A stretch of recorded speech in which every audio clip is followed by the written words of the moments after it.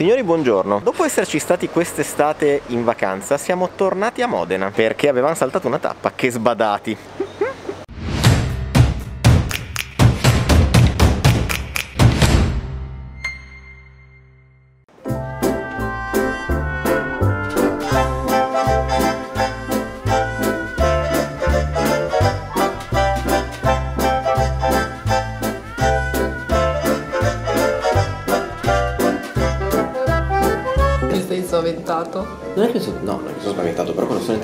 Fosse vero.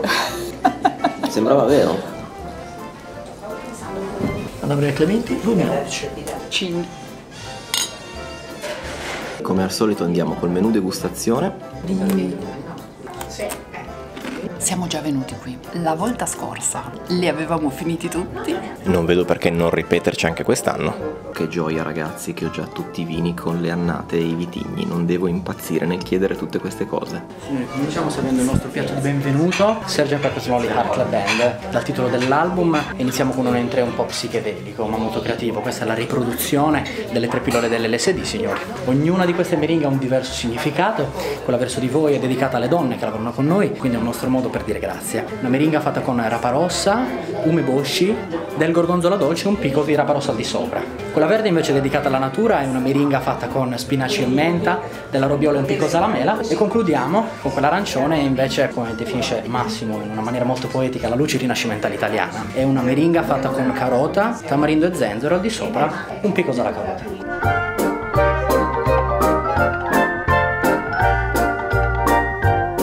Centro Italia, questo è Fonte Canale di Cristiana Tiberio, proprio sulla costa, completamente acciaio, eh, niente passaggio di botte, 2017. Super interessante la cantina Tiberio. Lo assaggio io. Qui signori serviamo a Day in the Life, come celebrare la quotidianità con del pane. È una focaccia con delle infiltrazioni di ricotta di bianca modenese. Al di sopra troverete del miele di produzione dello chef, delle nocciole tostate, al di sopra del tartufo bianco, signori. Consigliamo di mangiarlo con le mani. Una focaccia con infiltrazioni di ricotta. C'è un profumo di tartufo pazzesco. E il miele sopra gli dà quel non so che in più. Che buona con le note di miele. I prossimi due piatti ci spostiamo invece in Valle d'Aosta, questo è il Pino Grigio di Marco Martin, lo Triolet 2018. Devono arrivare ancora 27 piatti, basta coi grissini. Ho preso il più lungo del mondo.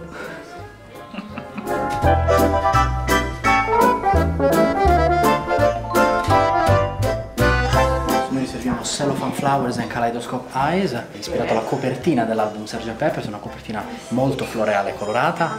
Ed ecco che trovate questi petali di fiori edibili sopra un battuto di gambero di mazzara e capasanta, con della creme fraiche affumicata, del ravanello marinato e di sopra un gel di lamponi. Serviamo il tutto, signori, con questo brodo, fatto sempre con dei lamponi, un'infusione di shiso, in particolare eh, sorta di basilico rosso giapponese e un estratto di mela.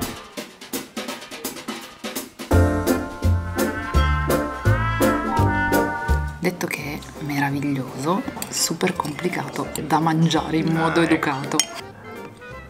Ha una bella acidità. Che contrasta con la creme fraiche e la grassezza del gambero. Proseguiamo signori con If I'm wrong, I'm right. Se sbaglio, ho ragione. Piatto che va a riassumere gli inizi della storia dell'osteria francescana.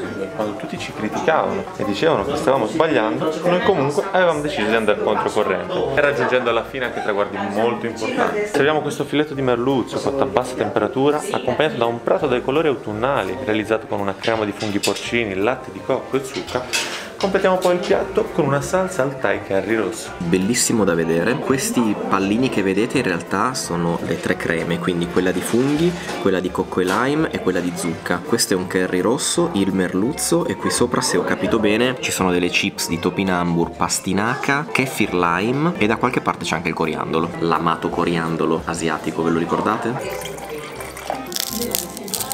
Il topinambur è tutto franabile, anche se frana e non è che fria.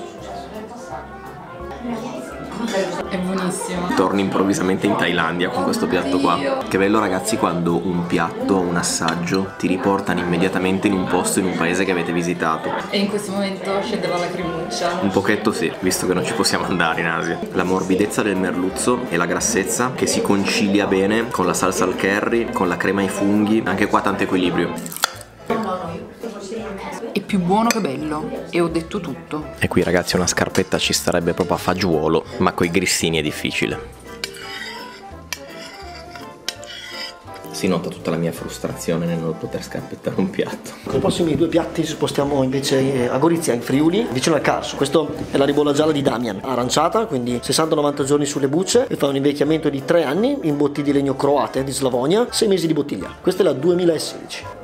A notte di miele e burro. Un naso pazzesco, cioè sembra di annusare un panettone.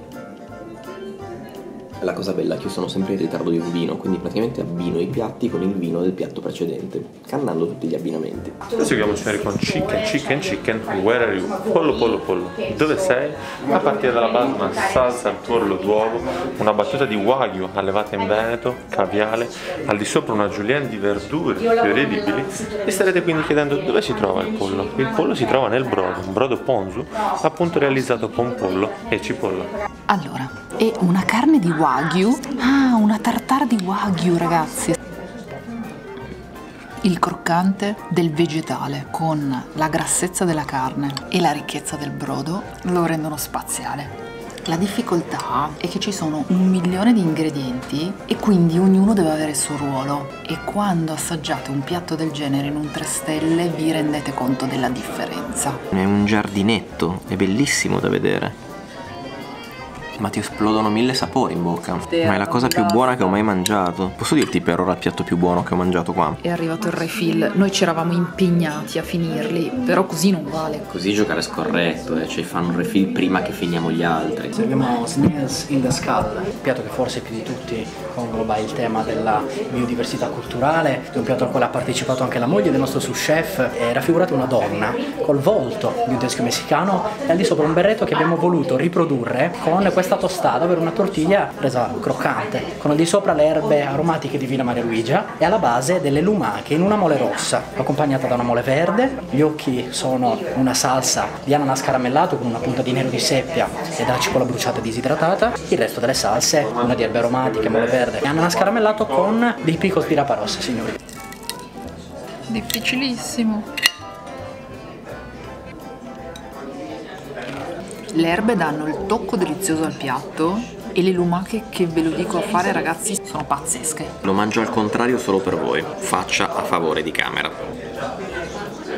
Le lumache delicatissime, la salsina verde che è la mole, bella acidula che va a contrastare bene e la parte croccante è data da questa cialda che non ricordo di che cos'è. Spostiamo in Germania, andiamo nella Mosella e serviamo il Riesling Trocken di Karlsmüller, questo che è il suo Cru Lorenzofer 2018. accompagnare le prossime portate vi serviamo un'altra tipologia di pane che viene realizzata con farina e grani antichi e del lievito madre, con il quale ovviamente vi è concesso fare la scarpetta. Serviamo Lovely Rita, dedicato a Mita Davis, che partecipava attivamente alle produzioni all'interno eh, di Abbey Road, una donna sul quale anche nel testo della canzone si può vedere qualcuno fantasticava parlando di profumi, ad esempio di prugna. Sono profumi che abbiamo cercato di riprodurre all'interno del piatto. Stiamo servendo un'animella con alla base delle prugne essiccate e una riduzione di Porto Madeira. Al di sopra del cavolo cappuccio marinato in un aceto di prugne, dei fiori edibili e accompagniamo al piatto un brodo d'ashi con all'interno un olio a geranio odoroso e un olio al sesamo, signore. A guardarla sembra una focaccina, in realtà è un'animella. Sia una parte tenera che una parte croccante, sbircio dagli appunti. Pepe affumicato e fiori, brodo di mela, prugne secche con olio di geranio odoroso. Secondo me la salsa di prugne porto dà il valore aggiunto al piatto, perché in accostamento con l'animella ci sta molto bene. Stavo dicendo io il brodo di mela non lo sento, eh per forza, è da bere a parte. Il brodo di mela che dà l'acidità al piatto è delizioso.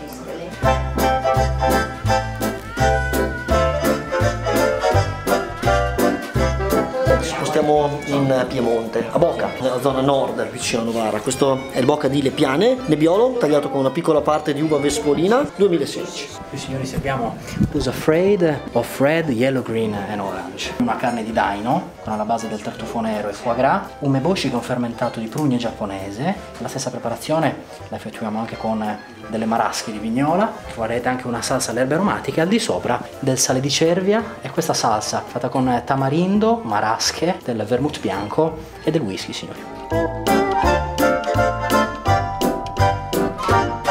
Non puoi capire. Il daino è pazzesco, ma la cosa incredibile è la consistenza della salsa caramellata. Il vermouth si sente tantissimo.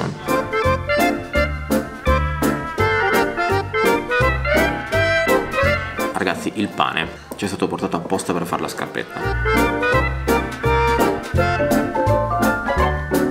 Fare la scarpetta in questo piatto è un'eresia. Drink fatto con il vermouth di Baldo Baldini, quindi romagnolo, il lambrusco di Sorbara, del nord di Modena, qui facciamo anche questa aria al di sopra che ricorda proprio le nebbie della campagna modenese in autunno. La foglia secca che noi preleviamo dalla nostra villa in campagna, San Damaso, Villa Maria Luisa. E all'interno inseriamo anche un po' di succo di mirtillo che viene invece dall'Appennino, da Fanano. Io adoro il vermouth. Poi seguiamo Ciuri con Strawberry Pills, but not forever. Not forever in quanto è un piatto che si adatta alle stagioni, quindi un piatto in continuo cambiamento. Ed è un piatto anche attraverso il quale prendiamo un po' in giro gli anni 80, periodo in cui andava molto di moda questo risotto con fragole e champagne. Realizziamo quindi questo risotto con uva, fragole e lambrusco. Alla base troverete un ragù di selvaggina con diverse erbe aromatiche. Completiamo al di sopra con una riduzione ai mirtilli. Ha un'acidità molto spinta, dettata dall'uva fragola, che però si bilancia benissimo con ragù di selvaggina. È veramente buono. Accompagniamo con il vermouth. Ti ha spiazzato. No, ci sta bene. Uno dei piatti più iconici dell'osteria francescana, le 5 stagionature del parmigiano reggiano in differenti consistenze e temperature. Cominceremo dalla base, una crema di parmigiano 24 mesi, sulla vostra destra trovate invece un demi soufflé fatto con parmigiano di 30 mesi, sulla sinistra una spuma fredda fatta con sifone e parmigiano di 36 mesi, la chips a 40 mesi di stagionatura e l'aria, la parte più bianca sovrastante, 50 mesi. Questo è una delle firme più famose dello chef. L'avevamo già presa 4 anni fa, la riassaggiamo molto volentieri oggi. Lo suo chef ha detto di muoversi perché altrimenti si scioglie. Il muoversi non fa parte delle nostre caratteristiche generalmente. Due ingredienti in questo piatto, il parmigiano e il tempo. Troviamo parmigiano con una stagionatura che va da 24 a 50 mesi. Lo chef non ha fatto che esaltarne le caratteristiche proponendolo in diverse consistenze e temperature. Ragazzi, io non ho parole, cioè, di fatto è solo parmigiano, però è un piatto veramente eccezionale. Non è come quello che ti gratti sulla pasta. Non esattamente. Ha in bocca temperature diverse e consistenze diverse. La cialda, la spuma, la crema. È da provare questo piatto, ragazzi. Nota importante, questo era un piatto extra menù. Molto molto contenti che lo chef ce l'abbia portato perché se no tornavo a casa senza un pezzo. Cioè, secondo te qui non faccio la scarpetta? in Friuli di nuovo, questa volta nei colli orientali del Friuli, vicino a Udine. Lui è Marco Sara, questo è il suo piccolit, una raccolta tardiva, 2018. Hai fatto le tue foto per Instagram? Qualcuna sì, qualcuna no. Se vi interessano gli spoiler di questi posti dovete seguirci su Instagram perché Franci fa un sacco di spoiler e anticipa a tutti il video che io pubblicherò tra non lo so quando lo pubblicherò. Quindi seguiteci su Instagram, eh? Winter is coming anche in Sicilia, una meringa fatta con delle mandorle di noto cioccolato bianco, trattata con dell'azoto liquido. Al di sopra trovate un origami aromatizzato alla lavanda e alla base il cuore siciliano e una crema di pistacchio di Bronte con dell'estratto al caffè, una marmellata di arance, bergamotto e capro dolce. E concludiamo con quella che vuole emulare un po' una brioche gelato. Questa è un pane sfogliato con all'interno una marmellata di arance e bergamotto al di sopra del sale maldon. Consigliamo di mangiarla verso la fine per scarpettare praticamente il resto della salsa che avanza. Qui ci hanno sgamato e praticamente in ogni piatto ci dicono sì ragazzi vi diamo il permesso di scarpettare. Anche il dolce se avete voglia. Non abbiamo più nessun tipo di pudore. Ma sai che il cappero, che era l'unica cosa che in tutta onestà pensavo non c'entrasse niente, invece ci sta da Dio. Mandorla e pistacchio ovviamente stanno molto bene insieme. E ora ragazzi, il momento più importante, andiamo a scarpettare quello che rimane con la brioche. Poi raga, scarpettare con una brioche burrosa che ve lo dico a fare. Il vostro percorso lo vediamo con un eh, altro vino sul dolce, ma non proprio un passito. Questo è il Cru Claude Bourg Domaine UE, siamo a Vouvray, Valle della Loira. Questo è uno Chenin Blanc Demi-Sec 2014.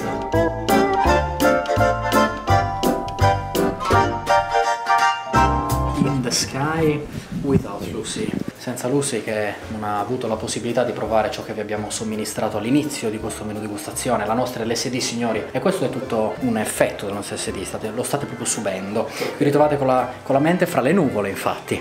Stiamo servendo un gelato alla cannella con una spuma di zucca e un sorbetto al mandarino alla base. Trovate poi una crema di castagne, castagne e nocciole e queste foglie autunnali che sono cadute sul vostro piatto. Sono delle chips di rapa rossa, di zucca e di sedano rapa. Trovate poi una polvere ai funghi porcini del tartufo bianco e la nebbia modenese. Dello zucchero filato con una polvere di yogurt al di sopra. Il piatto ricorda invece con questa catena montuosa il nostro Appennino, signori.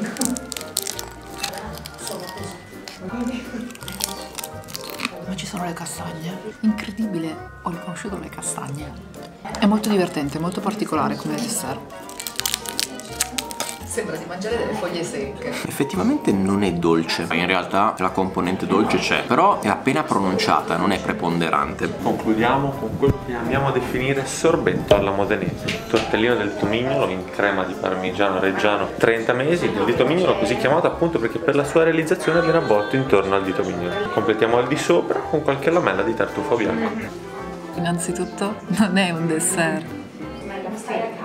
Tortellini, crema di parmigiano reggiano, parmigiano e tartufo. Vuol dire che ricominciamo da capo visto che è salato? Questo ragazzi è a tutti gli effetti un primo e io sono molto molto contento di ciò.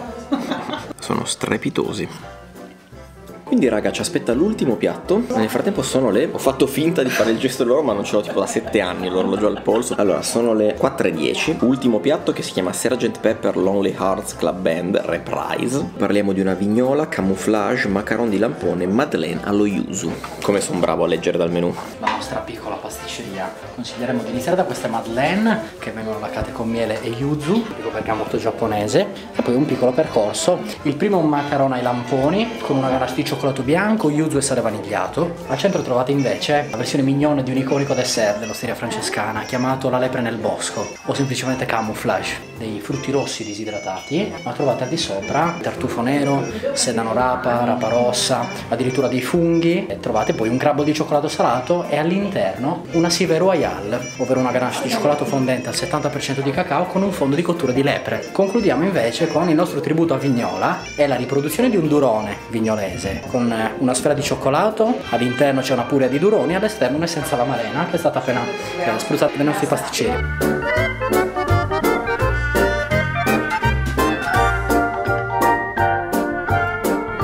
Preferito, il camouflage.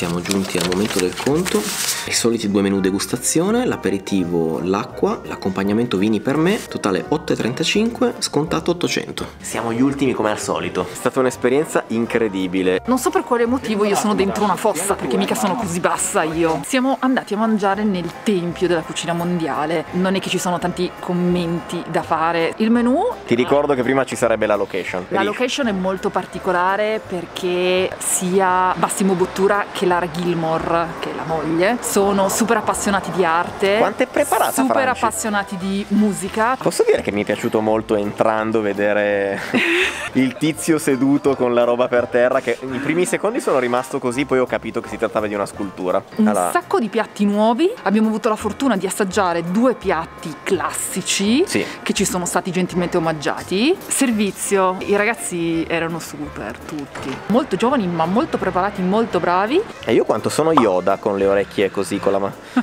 Il conto È un conto importante. È un conto importante e un ristorante 3 stelle che è stato nominato più volte miglior ristorante al mondo e uno paga il prezzo dello studio e dell'investimento che c'è dietro. È ovvio che non è qualcosa che uno può fare tutti i giorni, ma una volta nella vita ci sta. Chiudiamo dicendovi di iscrivervi al nostro canale, attivare la campanella se non volete perdervi i prossimi video, seguirci su Instagram, su Facebook e ragazzi stasera ore 8 c'è la live su Twitch. Quindi se volete farci domande, chiederci qualcosa, chiacchierare con noi, parlare di qualsiasi cosa, ci vediamo stasera alle 8 su Twitch. Ogni domenica, perché stasera è vago. Ci teniamo a precisare che avremmo dovuto fare questo video quando Piazza Duomo arrivava a 50.000 like, cosa che non è successa ragazzi, ma ve l'abbiamo fatto vedere lo stesso.